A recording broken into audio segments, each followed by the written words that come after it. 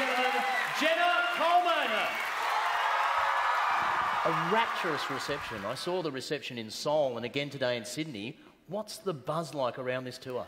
It's, it's really, to be honest, I think I'm in a bit of shock because we've been filming in Cardiff for eight months and we only wrapped season eight on Wednesday.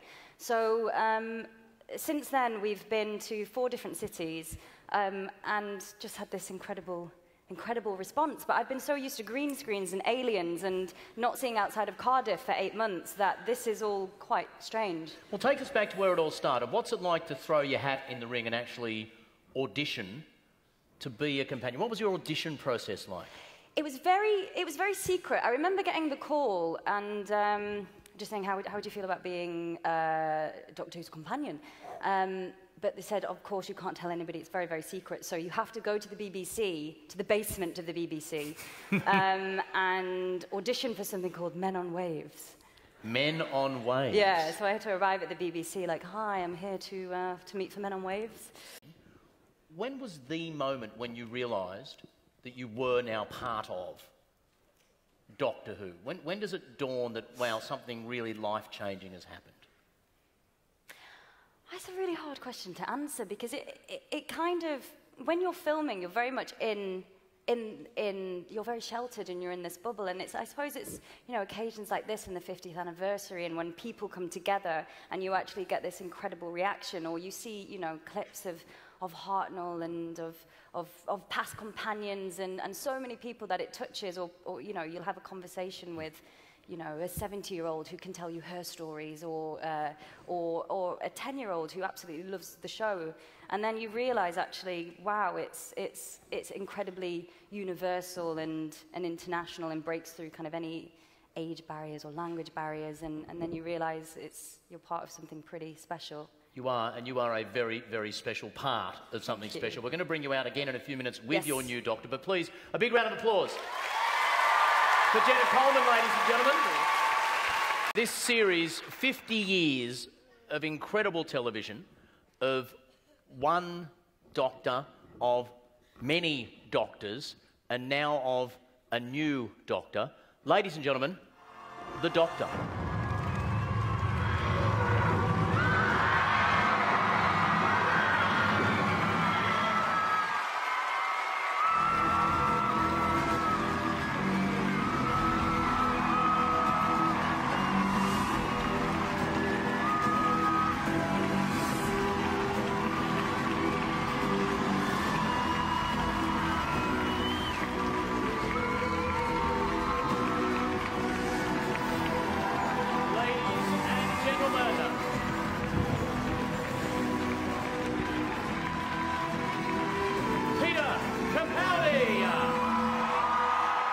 Until last Wednesday. Yep. Is it getting very real now? No. it's getting less real by the second. You're the doctor. I've, I've heard that, I believe so. um, I didn't. Uh, funnily enough, I've been working on uh, The Musketeers, which is the BBC adaptation. Mm. And we had a lot of Doctor Who directors came onto that. And because I was a big fan of the show, I was always asking them what was it like and how, what was it like to work on. And I had a little whisper. Someone said, one of the directors said to me, oh, I think Matt might be leaving. And I thought, oh, that's a shock, because I love Matt, and I, I, thought he was absolutely brilliant. Uh, but I thought, I wonder who they're going to get. And it never occurred to me for a second to ring up my agent and say, find out who they're after, put my name in there. Um, I just thought they would never go in, in my direction. So I was just watching the whole thing unfold. Uh, it was announced that Matt was leaving, and I'd read in the papers who they were thinking of.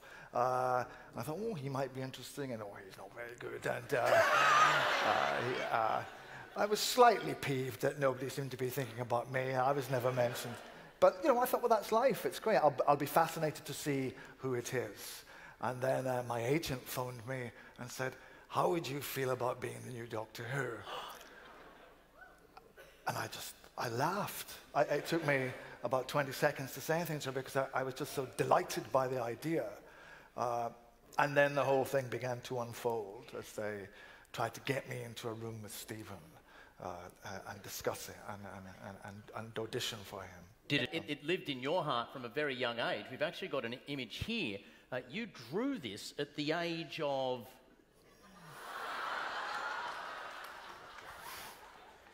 That was last year.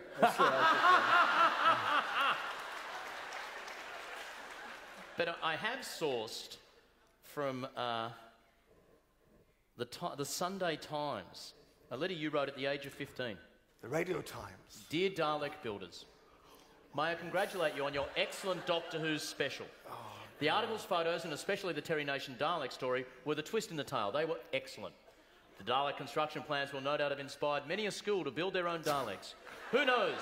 The country could soon be invaded by an army of school Daleks. Ah, but we'd be safe. We have Doctor Who to protect us. You finish it with, I hope that in 15 years' time in 1988 you'll publish another special to celebrate 25 years of wandering in time with the Doctor. Peter Capaldi, age 15.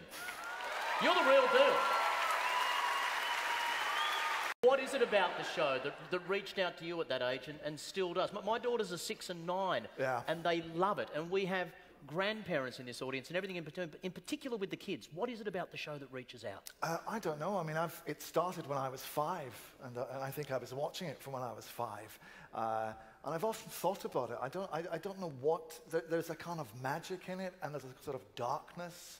There's a sort of. Uh, it, to me, it's almost like a kind of mythological Grimm's fairy story. Why don't we try and get a bit of an insight to who he is from the person who's working with him as well? Let's not keep them apart any longer. Jenna Coleman's going to come back out now, ladies and gentlemen.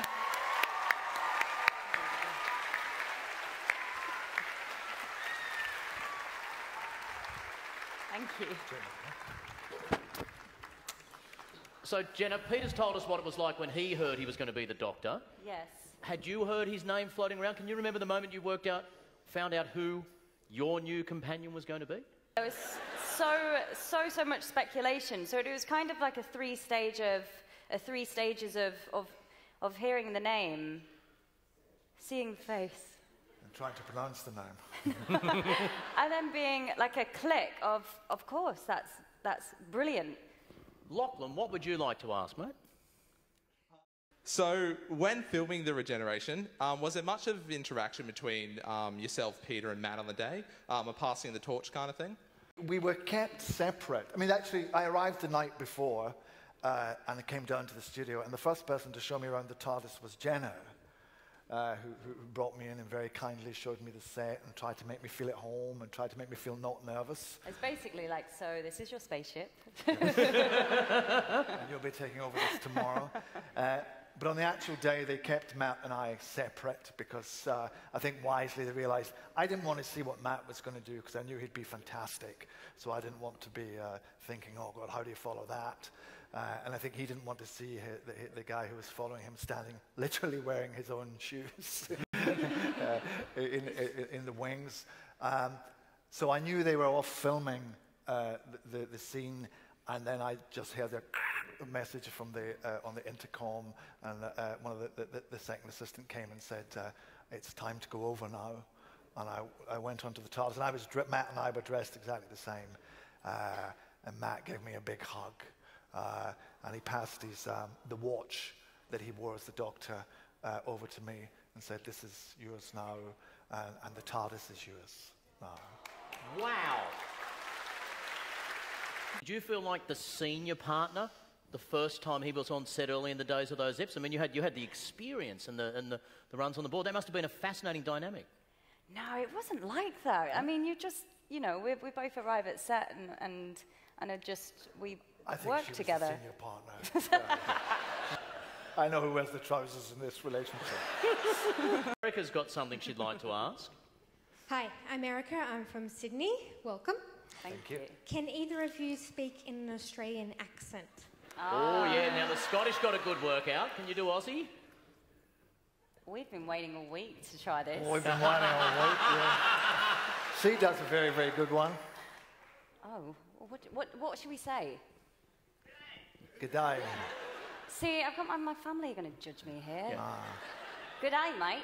There you go. One, one final question for both of you. You've been, this has been a very big tour and you, you're relentlessly generous with your time. And I know you've got a few other places to go, so you need to get to bed. But with, give us something here that six months from now, when, when we've seen the episode, when we've seen the series play out, okay? So, Doctor Who Series 8, give me three words. Doctor Who Series 8 in three words. It might not be apparent what you're saying right now, but six months or a year from now, I'll go, oh, that's what he meant. Jenna, give us three words about the series. It's an important question. Um,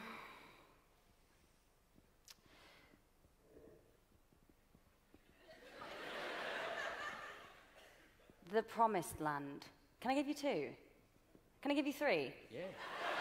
The Promised Land. Okay, the Promised Land. That's not free. Oh, we Australians tend to run words together, so that's a Uh, good. the, the the pro- Promised okay, Land. okay. If I say it really quickly, it counts The as three. Promised okay, Land? The Promised Land. Um, good versus bad. Good versus bad. Strange and charming. Strange and charming. The Promised Land, good versus bad, strange and charming. Peter, you've got anything up to nine words now because that's what uh, Sorry. you can do it in three if you wish. Okay, I'll do it in three. Trust no one. Ooh. Thank you so very much for joining us for this very, very special event. August the 24th sees the international premiere of Series 8 of Doctor Who. Please, another round of applause for Peter and Jenna.